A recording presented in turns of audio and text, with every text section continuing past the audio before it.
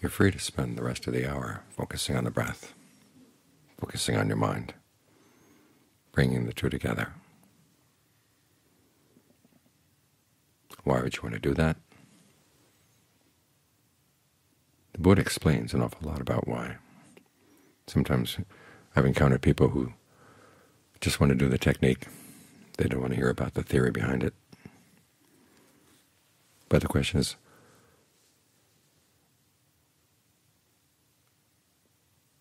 what kind of reality do we have that you can do something like this and it's worthwhile? Focusing on the breath, trying to see your mind in the present moment. A lot of the Buddhist teachings are there to explain exactly why we're here, what we're here to do, and what we can do. He gives us the Four Noble Truths to explain that we can put an end to suffering, because the suffering is something we're doing right now. There's a suffering, what's called the three characteristics, which is basically simply the fact that things change, and the change comes about because they're conditioned, and the conditions are unstable. So there's a stress there, especially if you try to find your happiness in those things. And then there's the suffering and stress in the Four Noble Truths. And that's the suffering and stress that comes from your own craving, which means there's something you can do about that. Unfortunately, that's the suffering that weighs the mind down. Without the craving, there would be no more cause for suffering in the mind, no matter how things change outside. So this is why we're looking at the mind, trying to lasso the mind into the present moment. Or a better analogy would be to lure the mind into the present moment by making the breath comfortable. Experiment for a while to see what kind of breathing feels good right now. Long, short, heavy, light, fast, slow, deep, shallow. You could spend the whole hour focusing on just that issue getting to know the body right now. See what feels really good. When this way of breathing feels good, think of that sense of comfort spreading through the different parts of the body, seeping out all the way to the pores. It feels good just sitting here breathing in, breathing out. And the mind can settle in. So it can see itself. The breath is like a mirror.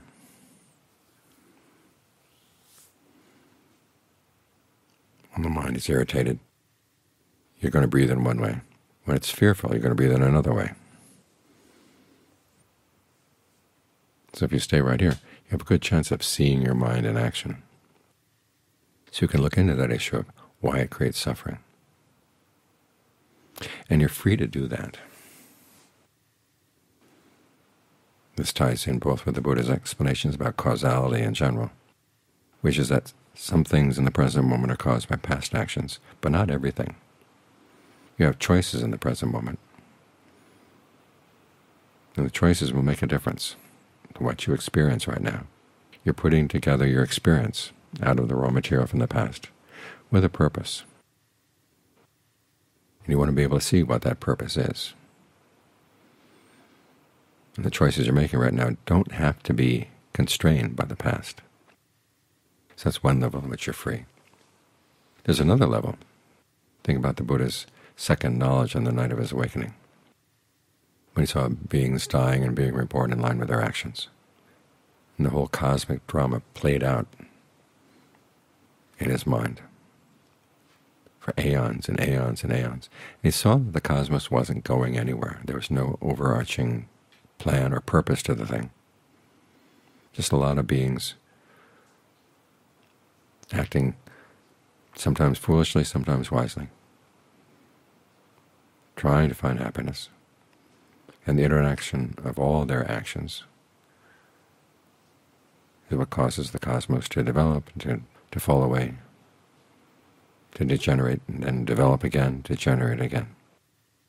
And you realize that because there's no overarching plan, you are free to choose your purpose in life. That's good to keep in mind as well. because sometimes we're told that our suffering serves a larger purpose, so we have to be willing to put up with it. But the Buddha is saying no. So you're free to put an end to your suffering and not feel like you're disobeying somebody.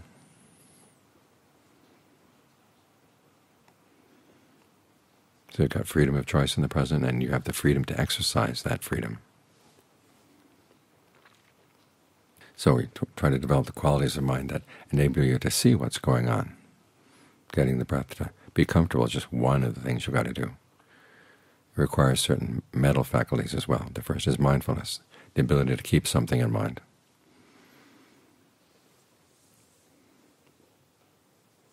As you're sitting here, remembering what your purpose is, what to look for, how to recognize the things that you want to encourage in the present moment and the things you don't want to encourage. The role of mindfulness here is one of the reasons why it is good to know what the Buddha taught about, how suffering comes about, and how it can be solved.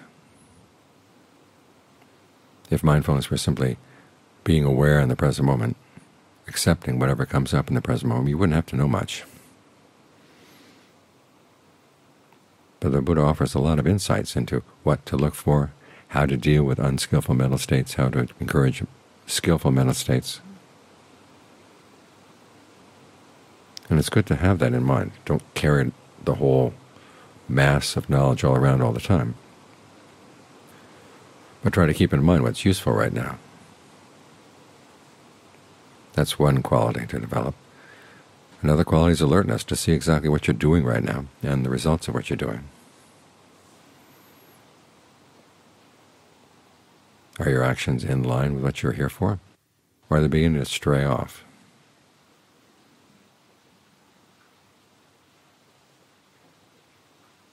This is where you bring in a third quality, which is ardency, the desire to do this well. These three qualities, mindfulness, alertness, ardency, are the ones that strengthen mindfulness and create a foundation here in the present moment to get the mind into concentration. And in Ajaan Lee's explanation of the three qualities, ardency is the quality that embodies wisdom and discernment. In other words, you could remember all kinds of things about what the Buddha taught, and you could be watching what you're doing in the present moment. But if you're not ardent in trying to master these skills, your mindfulness and alertness are very neutral and don't accomplish that much. But when you try to take advantage of what you've learned from the past and what you're doing right now, the desire to do that, that's wise. That's a desire you want to encourage. So if the mind is wandering off in the breath, you bring it right back. You try to figure out why it's wandering off if you can. Other times you don't have to figure anything out, just notice it's wandered off, you bring it back. Other times so there's something pulling the mind and you have to figure out what's pulling it. What's the allure? When you can see why the mind is going, then you can remind yourself of the drawbacks of letting it go. Here you are trying to understand the mind. And all I want to do is just create more thought worlds and travel around in those thought worlds. Whereas you want to see the process by which those thought worlds are constructed, and you can't see it from within those worlds. You have to see it from the frame of reference of the present moment. To come back while you're here with the breath. Try to be as sensitive as possible to any disturbance, any tension in the body, any disturbance in the mind. See if you can blow them away. The image they use in the, the canon is of a goldsmith blowing away impurities from gold as he puts it into the smelter. So any thoughts that would grab hold of the mind, just blow them away any patterns of tension that arise in the body, trying to figure out where they're centered, what they hold on to. and where you can get them to let go.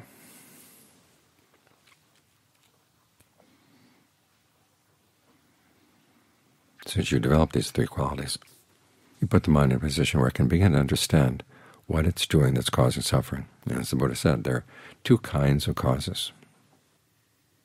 Some of the causes, all you have to do is just watch them, and they go away. In other words, those are the causes of suffering that can survive because you're not paying attention.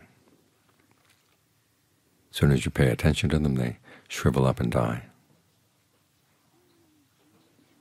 It's because of those that some people think that just being non-reactive is enough to get rid of unskillful things in the mind. But then there are other causes for suffering that no matter how much you simply look at them, they're going to stay. With those, as the Buddha said, you have to exert a fabrication. There are three kinds of fabrication he's talking about here. The first is the breath. That's bodily fabrication. The second is what he calls directed thought and evaluation, the way you talk to yourself. That's verbal fabrication. And then there are perceptions and feelings, the perceptions and labels you hold in mind. Images you hold in mind are words that help you identify this is this and that is that. And the feelings of pleasure, pain, neither pleasure nor pain. That's mental fabrication. So when something unskillful comes up in the mind and simply looking at it doesn't go away, you have to ask yourself, well, how are you breathing around it? Can you change the way you breathe? Because sometimes an unskillful thought comes into the mind or an unskillful emotion, and it has power because it's hijacked your breath. So you want to take the breath back, breathe in a way that's calming, refreshing, soothing, to counteract that thought, counteract that emotion. And then look at how you're talking to yourself about the issue. One, say you're angry, how you talk to yourself about the object that you're angry about, and two, how you talk to yourself about anger in general. What is your relationship to your anger? Part of the mind may not like it, but part of the mind must like it, because otherwise it wouldn't go for it. What do you like about it? Is it worth it?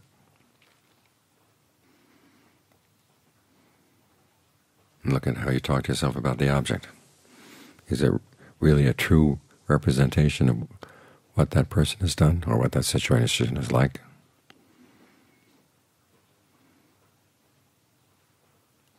The fact that you're angry sometimes tells you that something's wrong, and you're afraid that if you don't stay angry, you won't do anything about what's wrong.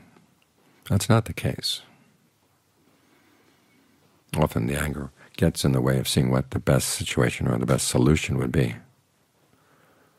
So talk to yourself in new ways about it, so you can calm down the anger. And then look at the situation with new eyes to see what should be done right now, or if something has to has to wait. You have to keep reminding yourself that when anger takes over the mind, things are not the way they seem. Sometimes you think that something would be a, a good response, and it turns out that it's precisely the thing that harms you.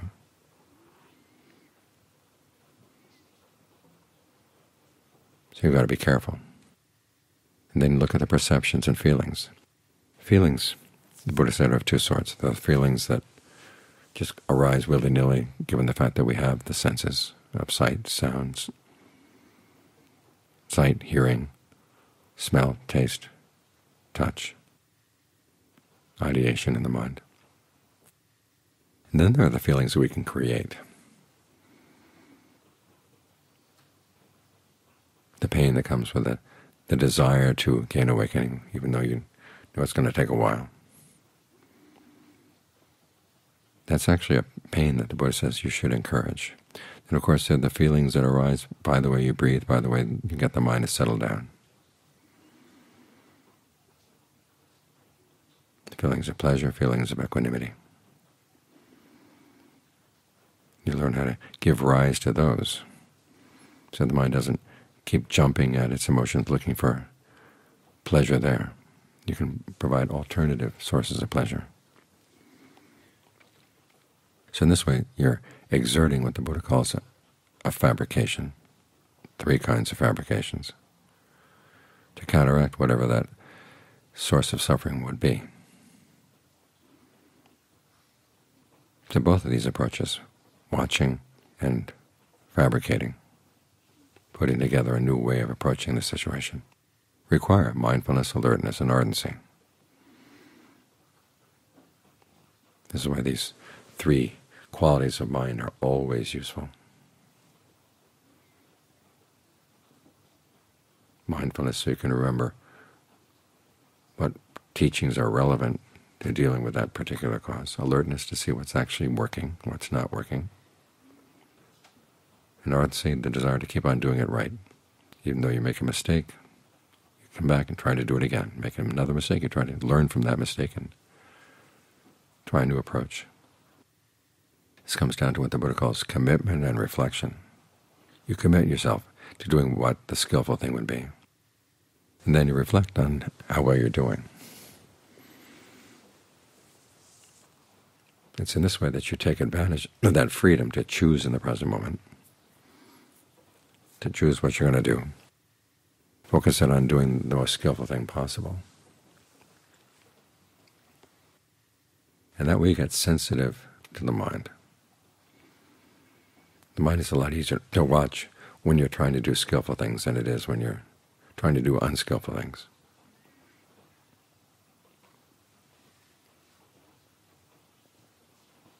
And it can calm down. You can see a lot more detail, a lot more, in a lot more refinement, what exactly is going on in the mind. That leads you to go for those causes of suffering to begin with. And that sensitivity is what's going to lead to another kind of freedom eventually. The freedom where the mind doesn't have to depend on anything at all for its happiness, because it's found something that lies outside of space, outside of time, that you find when you dig down deeper and deeper into the present moment.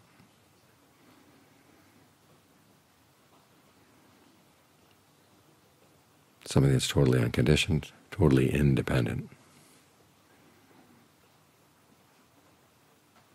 So you realize that we're dealing with many layers of freedom here.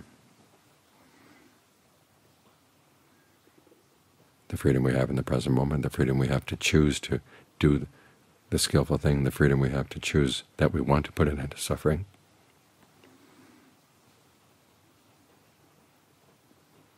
We learn how to use those levels of freedom so we can find the ultimate freedom that's unconditioned. It's hard to see what's not to like here. The people say they just want the technique, they don't want the theory behind it. The theory is there to help expand your understanding, expand your imagination as to what kind of freedoms are available and how you can get the most out of them. When the Buddha talks about what we should do, they're all shoulds that are aimed at our true happiness. You should try to comprehend suffering. You should try to abandon its cause you should try to develop the path so you can find the realization of the end of suffering. These are all shoulds with your well-being in mind. So there's nothing onerous about what the Buddha has to say.